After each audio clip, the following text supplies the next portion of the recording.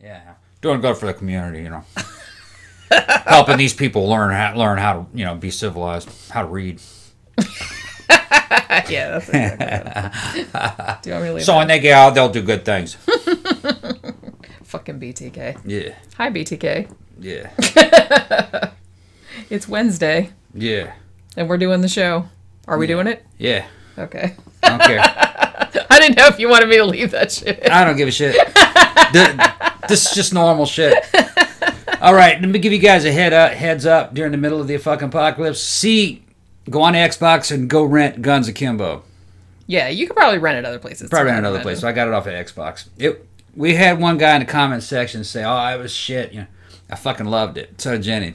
It was super fun, yeah. It's kind of like it's the same premise as Running Man, but it's more futuristic in terms of like you know they're they're live streaming it.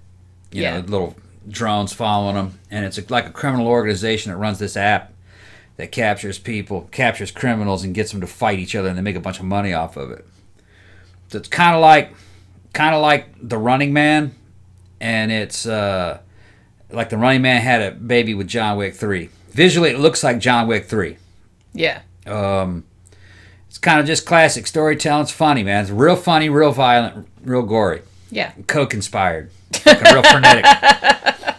way it's way it's edited. Yeah. We It's did good though. I like yeah, it. Yeah, we did like a full on kind of review of it, like a longer one, so that'll be on the matinee show. Yeah, Uh, like just giving you guys a head, movies. heads up on it. Yeah, because we just like watched it. we had last we had a good time watching that one. It's um, it it, it kind of tonally kind of reminded me of Birds of Prey, but it was a lot better. It, that would have beat Birds of Prey at the box office easy. I, there was it's a it's a, a foreign film, so they did some shenanigans to probably keep it out of the theaters because they knew it would fucking kick the shit out of a Hollywood movie.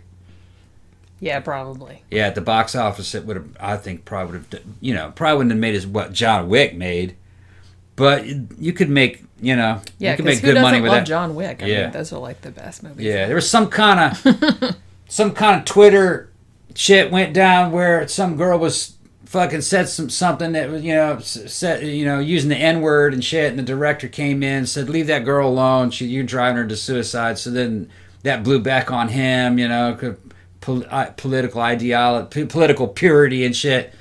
Which I think all that shit's bullshit. You know, I don't I don't like those Twitter lynch mobs anyway.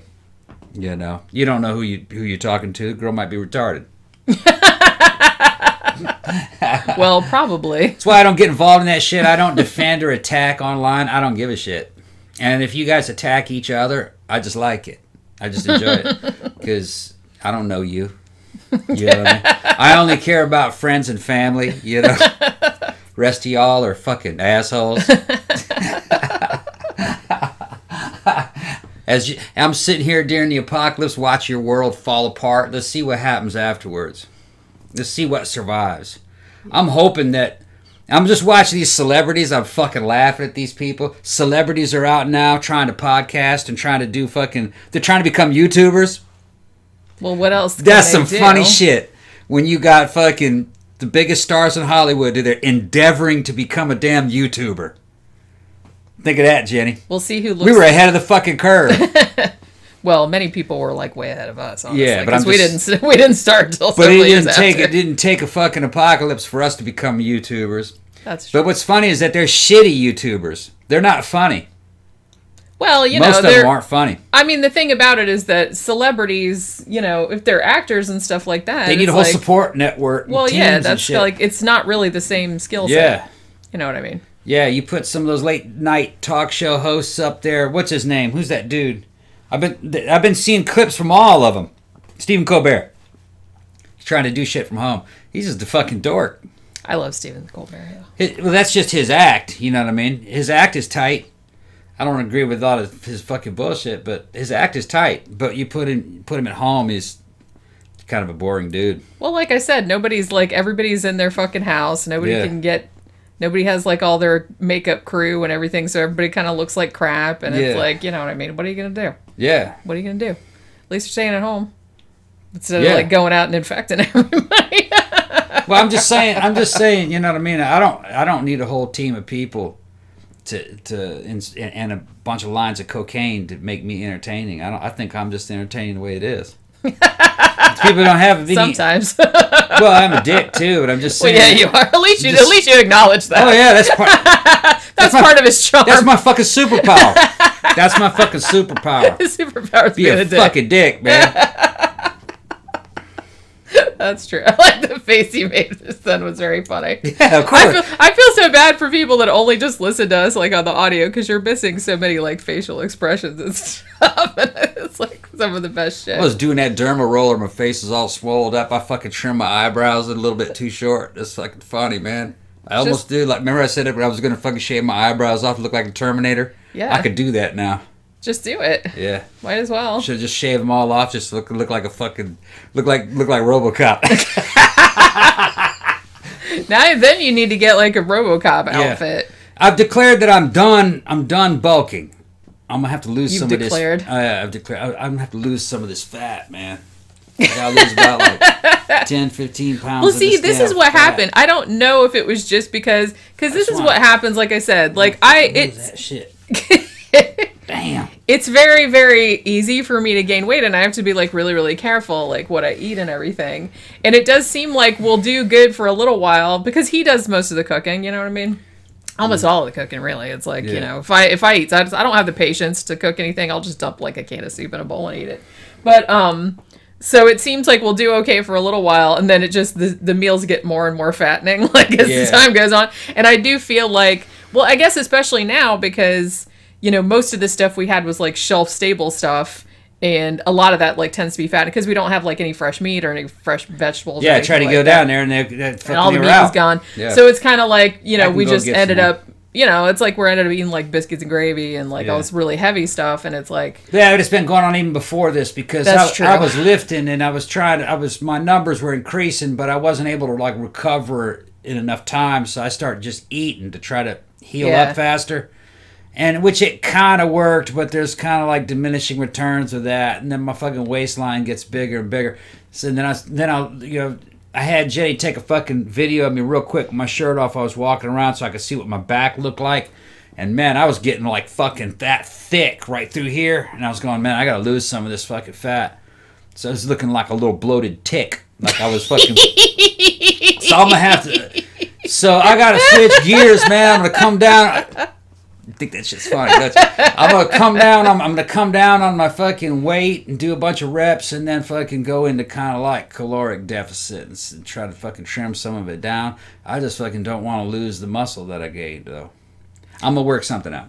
yeah I mean you know there's shit you can do it's like you can't I- it, I don't think it's like just a choice between like oh I can be bulky or I can be fat because like some people aren't There's like another way to do it. I've been, you know, I've been listening to some coaches and shit, you know, where they're kind of, uh, what do they call it? They call it gaintain.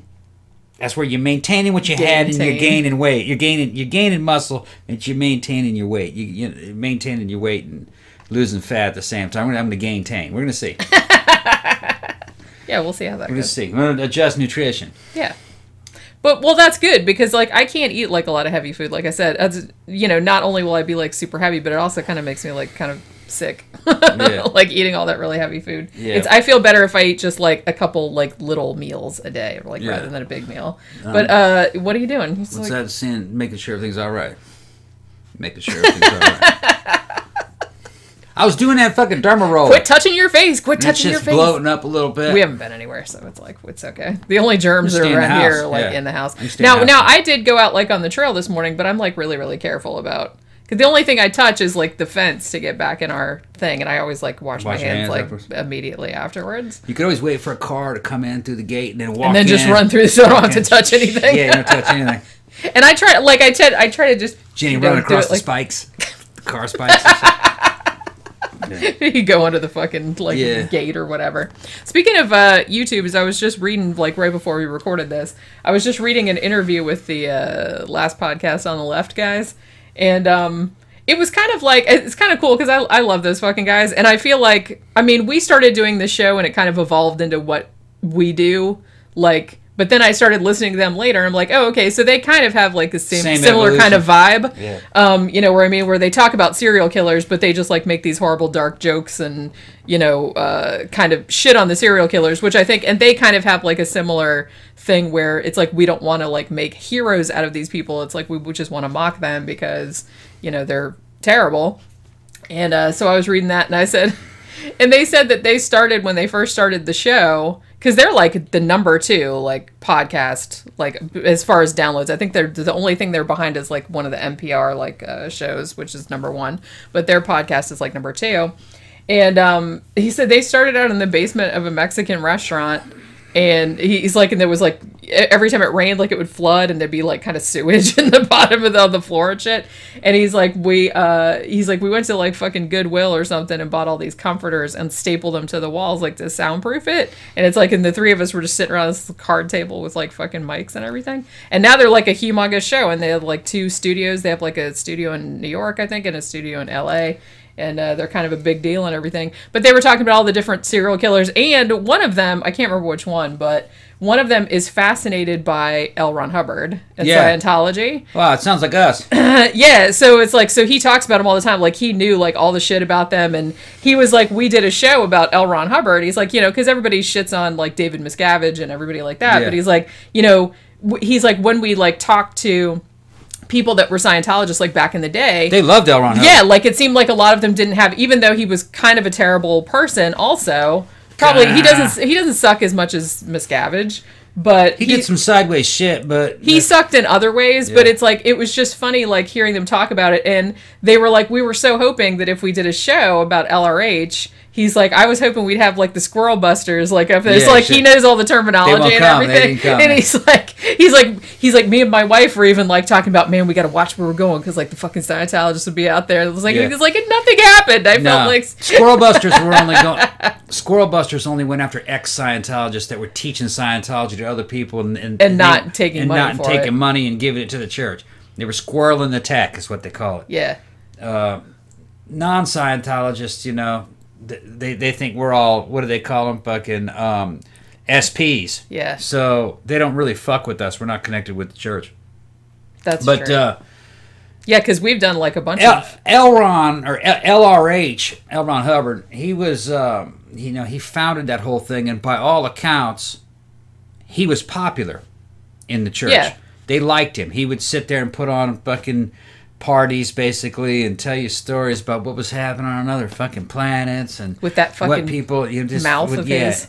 But he was evidently uh, charming and entertaining as far as far as you know, in the opinion of the cult members yeah, they liked him. Uh, I don't think he had kind of a brutal reputation either. No, nothing like Miss Miscavige. Miscavige is fucking mean. yeah, He's real mean. Uh, but not LRH wasn't. Now certain shit happened under his command. I mean, they infiltrated the fucking FBI. they did indeed. Yeah.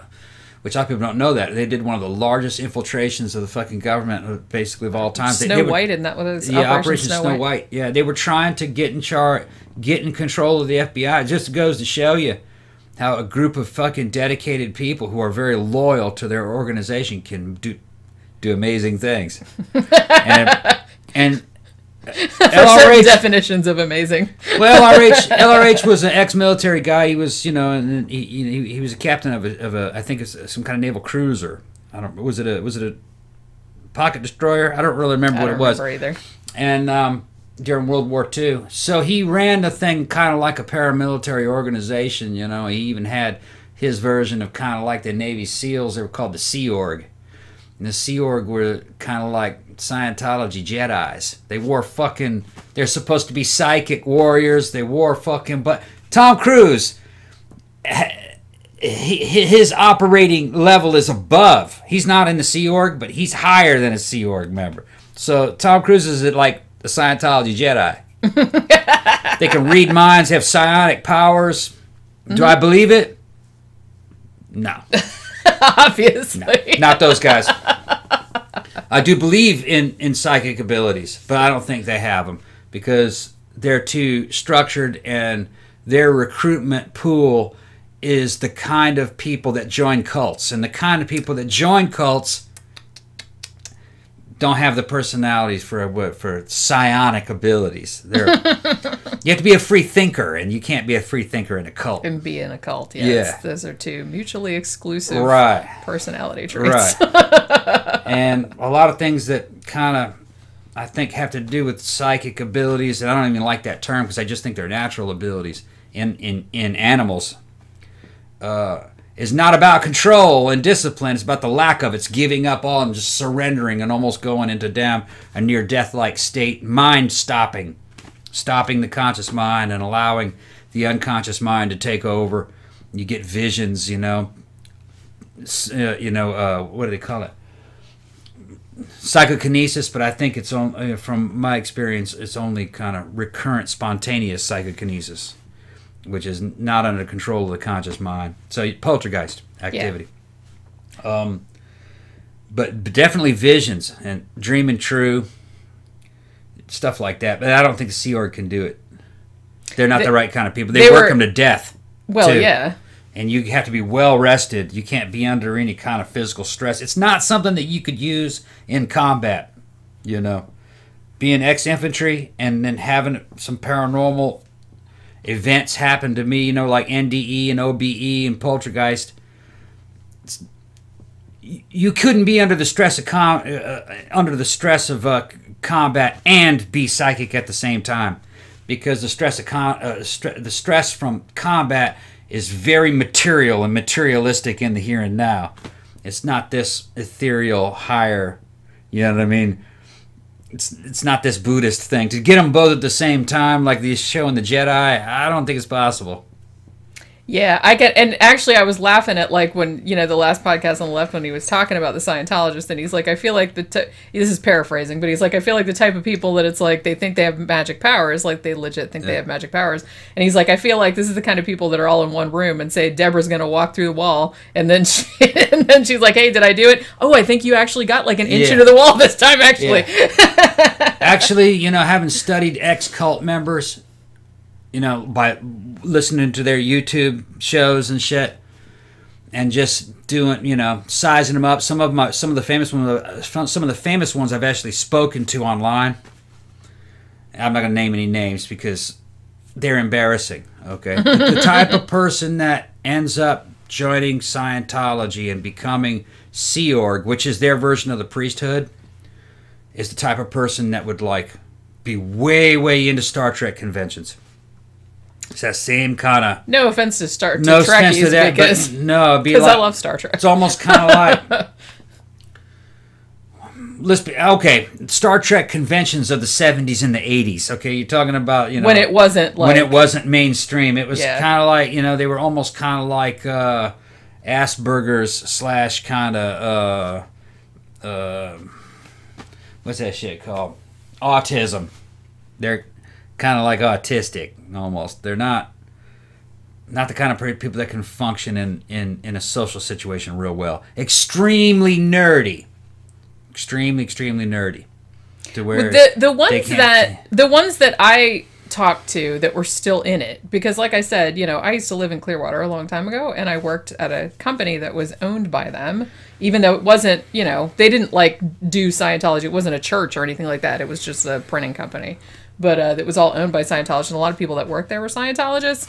The weird thing that I got about them, they weren't they weren't nerdy. Um, it was Did they join or were they born into it though? uh, some of them were were born into it, and some of them joined later. Okay. But th- I don't know. It's like it's really hard to like put your finger on. They were just like very very strange people. You could tell that they were trying to, and maybe this is what you mean when you say like something like autism. It, it almost seemed like they were trying to, you know, mirror your um reactions and like the way you talked and stuff like that because they didn't know because i think They they, do act. yeah it, uh, they do it because they're trying to like relate to you and stuff but i think also it's just because they're kind of like weird and empty inside and they don't really know how like a human being acts well, the ones that that's I kind of how they came off to me the ones that I mostly studied were ones that joined. yeah And the kind of person that joins can be very different from the kind of person that was born. That was in. born into it. Because the person that was born into it has no choice. So I would think kind of like the qualities of the ones born into it would be better than somebody who joined. Somebody who joined was Still, they're still fucking weird though. they were weird because yeah, but a person who joined I'd probably even weirder because they're kind of like running from something and looking for something else and they're trying to fulfill. I've noticed it's not just Scientology; it's any cult. People that I ran into in Boston who were into joining these goddamn cults to try to seek what was the fucking word that there's one of them I worked with for a while, and this fucker would join a cult for a few months and then leave it and join another one for a few months. It was all this Eastern and Indian pseudo Indian type, you know, yoga type shit. What was the word that he constantly used? Spir- trying to find spiritual, um, trying to use the exact phrase that he used. Not enlightenment, No, transcendence. no, Shit. shit. It's been so long since I thought of that fucking loser. He used to use it over and over again. I'm trying to find my spiritual something or another. My spiritual. Yeah, Remember, you know, and it's just this fucking jargon. I'm going, what the fuck is this dude talking about? I said, dude, man, what's your paycheck? What'd you make last week? You know, that's not spiritual enough for you? You know, that kind of shit. You know what I mean? Like, what are you talking about? It's just some people have this driving instinct in them to be involved in some kind of a religion that tells them some kind of truth. Which I don't, it's an alien concept to me because Yeah, me, me too. you know i kind of grew up around religions and that's not that's not how it's not what they're like. That's not a religion religions just aren't like that. But there are some people who are think that they are. And i don't know if that person came from a religious family or maybe a, a family that had no religion and they felt that well if i gain a religion i'll feel better about life Yeah, because I do I- think I'm, I'm not like like, you know. I I'm not shitting on people that are like looking for a meaning in life or something like that. But the thing about people that join cults, it's like they seem to think that there's like one answer that's Yeah. gonna like solve everything or like solve other problems that are, it will make me happy. It'll do this and that. And there's just no such thing. Right. It's like really you just have to find meaning in you know stuff that you love stuff that you like to do it's there's no one answer out there that's like the right thing for everybody Yeah, or- I'm trying to remember trying to complete my spiritual journey or some shit like that, where Yeah. everything was some kind of spiritual journey, and it was just Yeah, I've my known, boss. I've known a couple people. My boss would hear, hear hear the guy talk like that, and she would just like look at me like this motherfucker is crazy. You know what I mean? She's looking at me like he's a fucking dork, you know, because there's an element of there's an element of scam in all that. Well, yeah, You know, and I was in a company that was very heavy, very heavy in direct sales. And even though you have a good product, there's a certain way you have to sell things directly. There's an element of scam in everything. yeah, You know, all businesses have an element of scam in it. And what we were doing was so similar to what, say, like a religious cults were doing. Mm-hmm. You know, some people have, ne- have there's a lot of similarities. there's a lot of similarity between what happens in the corporate world and what happens in religions.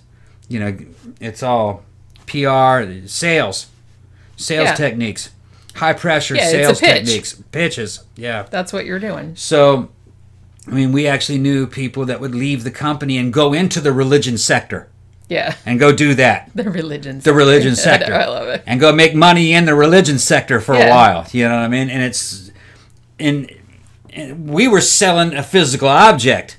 Okay. Yeah.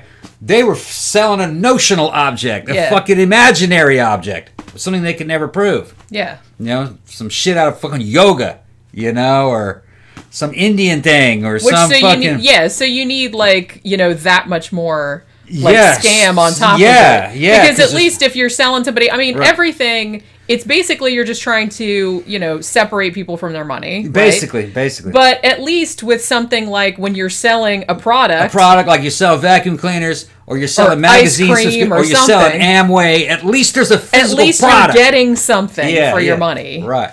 Even though it might not be what you wanted or Right. might not be but you know the thing about religion is you know and cults and things like that they're trying to sell you something that you know You can't probably doesn't exist and it's You like not. Right. you know what i mean so You just have them sit in a lotus position, or you have them say a bunch of ohms, and then you give them like a fucking saffron colored fucking robe and shit.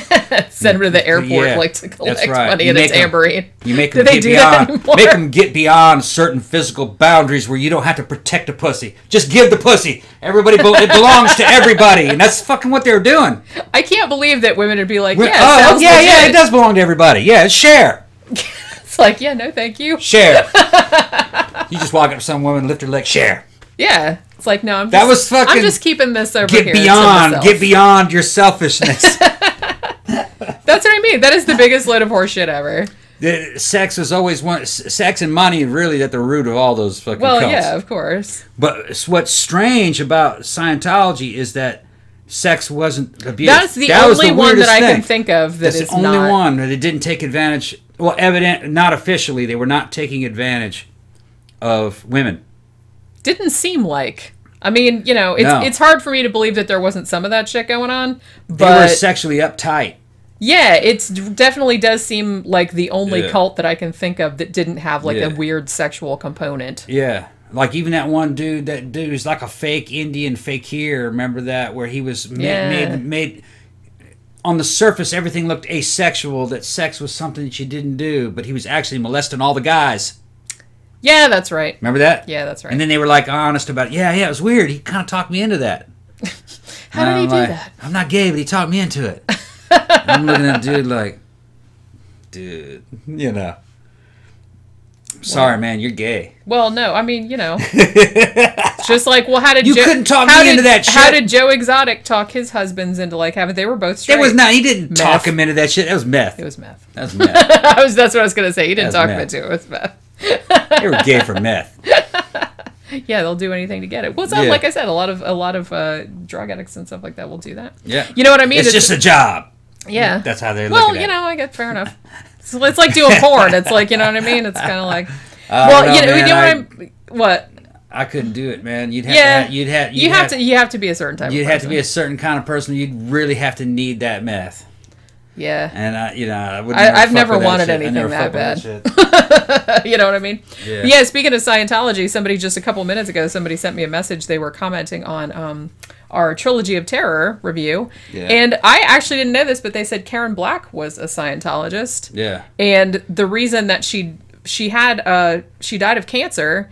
And she never went to get it treated because Scientologists think they can treat everything.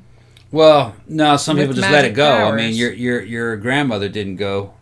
No, she did. She did, but then she said, "Fuck but it, then she said die." fuck it well after because after they did the surgery and after they did everything then they were kind of like oh well we didn't get it all and She was hasn't been mentioned in anything recent with the church. yeah i know well i mean it's been a while since she died so maybe why that's maybe that's why i never heard because like i had thought i knew like most of the famous uh scientologists but i had never heard her uh She must have been what they call public. yeah she just well a lot of the the- celebrities are Yeah, they just take the courses. And they're not like super They're not in- they're they're, not not, like living in the yeah, dorms they go in there, or right? They're not living with them, and they're not, you know. Then they just give them money, you know. They're just public Scientologists, which they're the the public Scientologist is not the same as somebody who's in the Sea Org. yeah the experience is completely different yeah, or somebody who's in staff. Yeah, the, the, they really man, they really micromanage them. Public, they don't. They just bilk them for money. If you want to like read something really horrifying, here's another book recommendation for you. Read uh, Beyond Belief by Yeah. Jenna Miscavige. That's his niece. She was raised in it, and it is horrifying. Yeah. Horrifying. So yeah, that's Well, that's my book YouTube- recommendation for it. If you want to cheer yourself up. There's a real good YouTube channel written. Uh, uh, it's kind. It's managed by um, um, somebody who left the church. She was real high ranking. I forgot her. Her name's drawing a blank right now. Um, anyway, uh, they have a show on YouTube called uh, "Surviving Scientology." Yeah, yeah, yeah. and they have some interviews with like old classic members that knew L. Ron Hubbard and what it was like and how fucked up his teeth were and shit like that. You know what I mean? His and, mouth always bothered me yeah, so and, much. and really the story. I, I like the stories of the old church when L. Ron was still alive. Yeah. Because there was some, some of those stories were fucking bizarre. You know, they're living in barracks and pouring drinks and fucking just you know, pretty interesting of how, it was like. And then the secret compounds that were built out in the desert to protect the fucking holy script on fucking titanium plates. You know. And the guys that guard it out in the middle of the desert commit suicide because there's nothing to do out there. Just, they got guns and shit. Crazy. Yeah. What you doing? Let's It's like a little- prison out in the middle of the desert with like five guys in it. You should be able to see Baby Cookie in a Baby second. Cookie's gonna- what you Here she comes. There What she is. Coming to visit. Coming to visit. Look at her little butt. She's like, look at my Don't butt. you know that you are a Pookie star? oh yeah.